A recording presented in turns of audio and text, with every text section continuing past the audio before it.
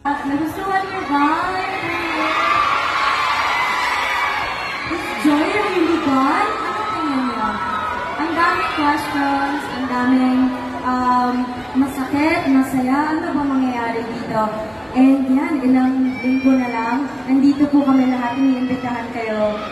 Actually, kanina while watching, ano din, parang, parang din ako, nadala kasi ngayon lang namin siya napanood ng sa screen.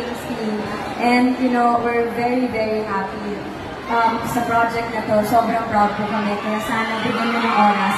This November 13, please, please. Di nagtatangi kung dalangin Kung sa huling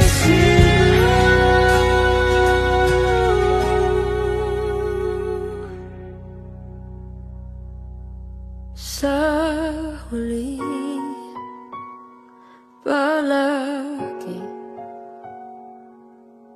Babalik pa rin sa yakap mo Mahal sa huli